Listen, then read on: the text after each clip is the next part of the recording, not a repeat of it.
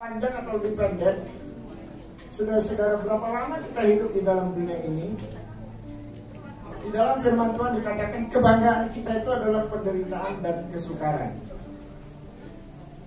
Dan kalau saudara baca di dalam kejadian pasal 6 ayat 3 dikatakan bahwa manusia itu bisa hidup sampai 120 tahun. Dan kita tahu Musa dan dia mati pada usia 120 tahun. Dan kita tahu sekarang ini juga ada orang yang hidup yang mencapai usia 120 tahun dan mungkin ada yang lebih. Saudara-saudara, jadi kehidupan manusia itu memang terbatas. Jadi pada suatu saat nanti pasti semua orang akan meninggalkan dunia ini. Oleh sebab itu kita bersyukur, patut bersyukur. Kalau kita tidak selamanya tinggal di dalam dunia ini. Mengapa saya katakan kita bersyukur? Karena sudah-saudara dikatakan maka kebanggaan kita itu adalah penderitaan dan juga kesukaran yang kita alami di dalam hidup. Orang kalau sudah mencapai usia yang lanjut pasti mempunyai berbagai macam penyakit di dalam tubuhnya. Dan ini merupakan suatu penderitaan. Dan dia juga tidak bisa beraktivitas secara bebas. Dan ini merupakan suatu kesukaran buat dia. Sebab itu saya katakan bahwa kita bersyukur karena kita tidak selamanya tinggal di dalam dunia ini. Karena sejak manusia jatuh di dalam dosa, maka umur manusia itu terbatas. Nah, saudara-saudara, saat itu kalau kita menyadari bahwa usia kita terbatas di dalam dunia ini, maka biarlah kita melakukan hal-hal yang baik supaya apa yang kita lakukan itu tercatat di dalam kerajaan sorga. Saudara-saudara, pada saat kita meninggal dunia, seperti Bapak Susanto Halim ini, dan itu adalah saatnya bagi dia untuk bebas dari segala penderitaan di dalam dunia ini. Bebas dari segala sakit penyakit, bebas dari segala jerih payah selama dia berada di dalam dunia ini. Nah tentunya ini hanya bagi orang yang percaya kepada Tuhan Dia boleh mengalami hal ini di dalam hidupnya Tetapi bagi yang tidak percaya Tentunya dia akan mengalami hal Yang jauh lebih buruk Daripada apa yang dialami di dunia ini Saudara-saudara di dalam Wahyu 21 ayat 1 sampai 4 di situ dikatakan bahwa di dalam kerajaan sorga yaitu di dalam Yerusalem baru sudah tidak ada lagi air mata, tidak ada lagi perkabungan, tidak ada lagi duka cita, semua itu sudah lewat. Saat itu saudara-saudara, saat kita meninggal dunia, maka kita berhenti dari segala penderitaan di dalam dunia ini dan kita beristirahat. Kita beristirahat dari segala jerih lelah kita. Sebab itu saudara-saudara, bagi orang yang kita kasihi yang dipanggil Tuhan, kita perlu merelakan kepergian daripada mereka walaupun kita akui itu adalah berat bagi kita. Terutama kalau itu menyangkut anak kita yang masih muda mungkin dan tiba-tiba dipanggil Tuhan seperti anak saya, memang kesedihan itu sangat terasa sekali. Tetapi kita tahu bahwa setiap orang yang percaya kepada Tuhan dan dia bersama-sama dengan Tuhan dan dia mengalami segala perkara yang indah yang baik di dalam hidupnya. Jadi hal yang kedua, dia beristirahat dari jerih lelahnya dan dia juga bebas dari segala penderitaan di dalam dunia ini. Hal yang ketiga, saudara-saudara, dikatakan di dalam firman Tuhan, segala perbuatannya menyertai dia, menyertai mereka. Perbuatan apa? Perbuatan sesudah dia bertobat percaya kepada Tuhan Yesus. Maka semua perbuatan itu akan menyertai dia. Dan perbuatan yang bernilai kekal, perbuatan yang menyenangkan hati Tuhan. Saudara-saudara, kita tahu bahwa kita diselamatkan oleh karena kita menerima kasih anugerah daripada Tuhan. Bukan oleh kekuatan kita, bukan juga oleh usaha daripada kita.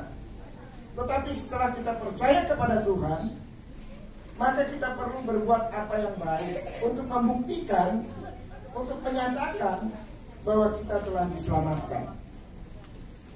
Saudara-saudara, perbuatan baik inilah yang akan menyertai kita.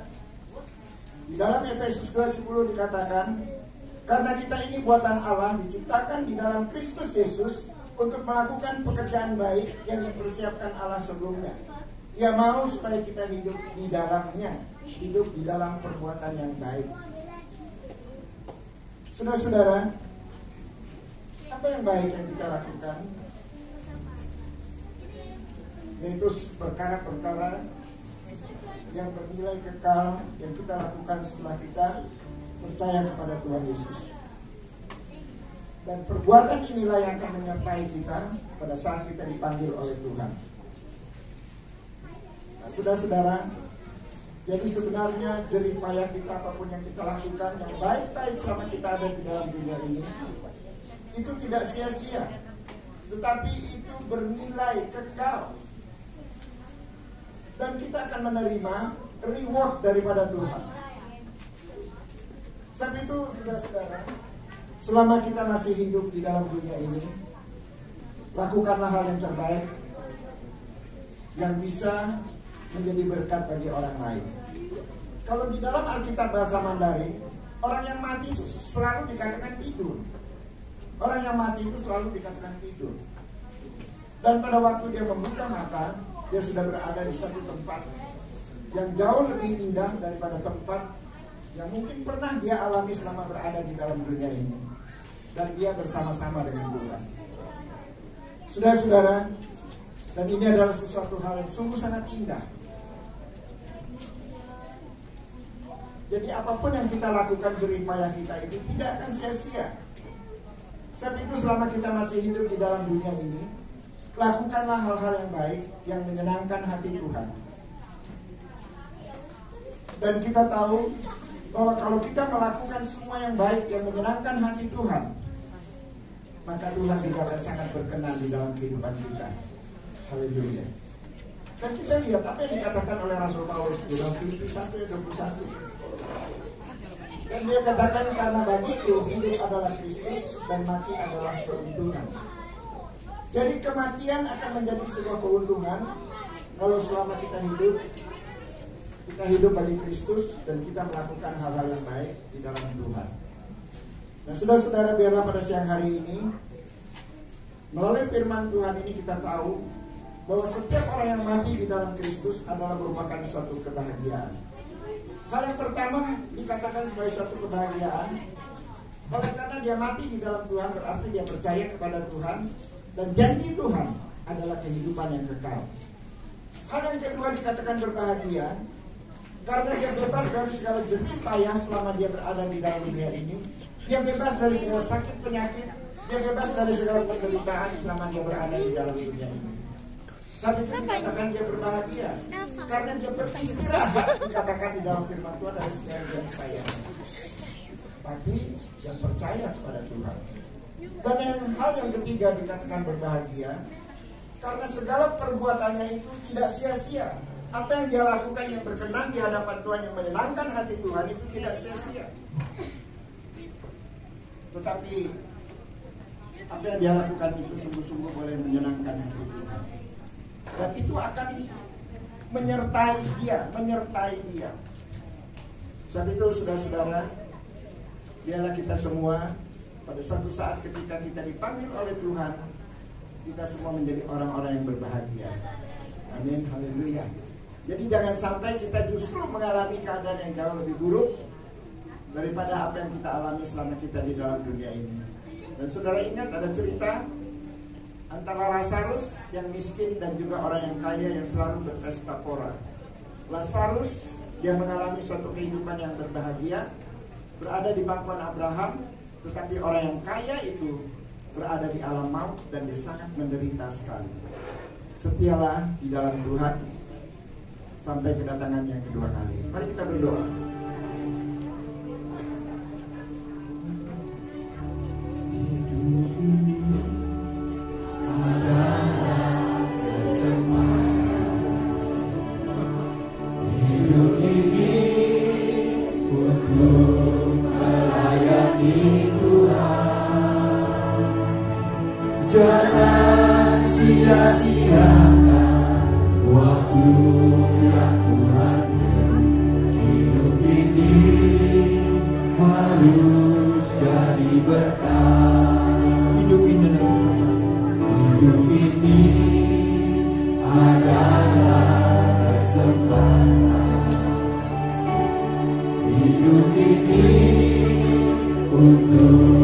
melayani.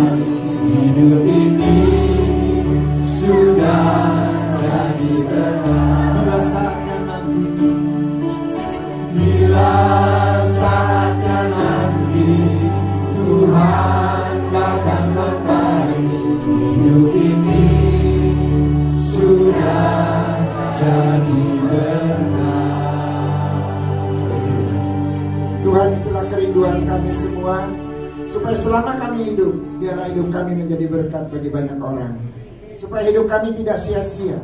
Karena apa pun yang kami lakukan di hadapan Tuhan. Dan bila itu adalah sesuatu perkara yang menyenangkan hati Tuhan. Sesuatu hal yang sungguh-sungguh bernilai kekal. Maka semuanya itu akan menyenangkan hati Tuhan. Sehingga apa pun yang kami lakukan itu tidak sia-sia. Tetapi kami boleh menerima segala reward yang Tuhan sediakan bagi kami semua. Tuhan terima kasih Tuhan. Dan kami percaya pada saat ini Bapak Susanto Halim dan dia sudah beristirahat. Dia bersama-sama dengan Tuhan dan dia sudah bebas dari segala penderitaan yang dia alami selama 20 tahun lebih. Tuhan dia ada bersama-sama dengan Tuhan. Sudah tidak ada lagi penderitaan yang harus dia alami. Tidak ada lagi sakit penyakit. Tidak ada lagi air mata. Tetapi yang ada adalah sukacita bersama-sama Tuhan. Terima kasih Tuhan, terima kasih. Dan kami serahkan penutupan peti ini sepenuhnya ke dalam kuasa tangan Tuhan. Di dalam nama Yesus kami telah berdoa dan mengucap syukur. Haleluya, sama-sama katakan amin.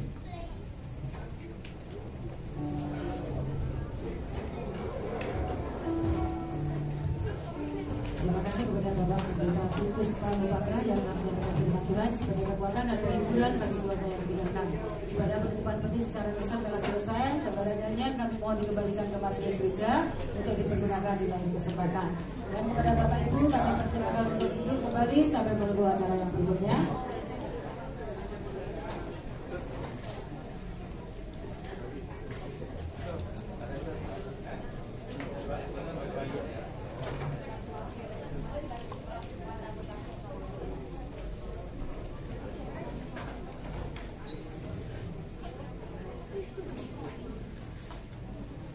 dulu ya ini ya.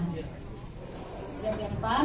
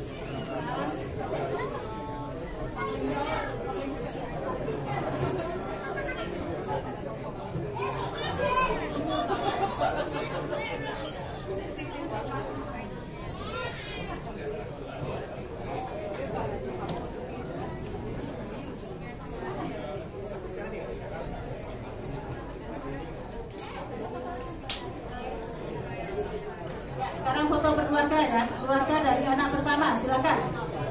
Keluarga dari anak pertama, anak mantu, cucu, cucu mantu, cicit. Anak dari anak pertama.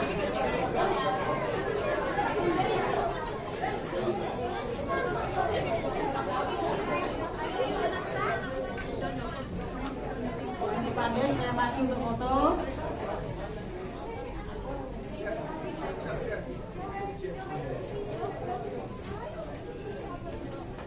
Ya, mama di tengah, anak di kanan kirinya ya.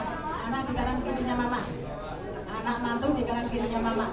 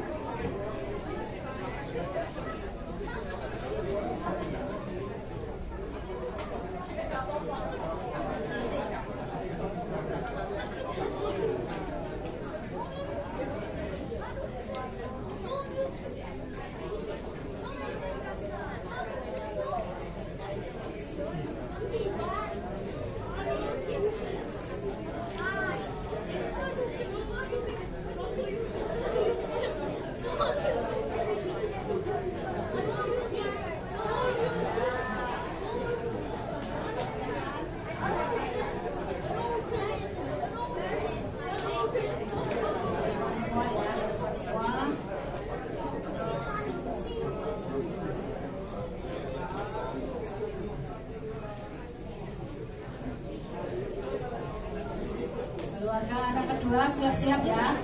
Silakan keluarga dari anak kedua. Keluarga dari anak kedua, anak mantu, cucu, cucu mantu semuanya silakan. Ya, yang sudah foto keluar dulu.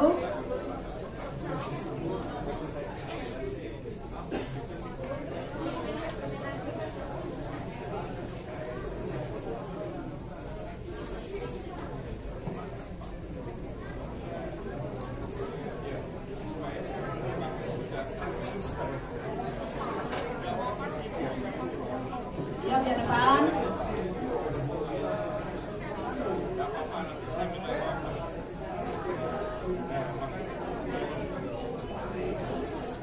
Keluarga dari anak ketiga siap-siap ya.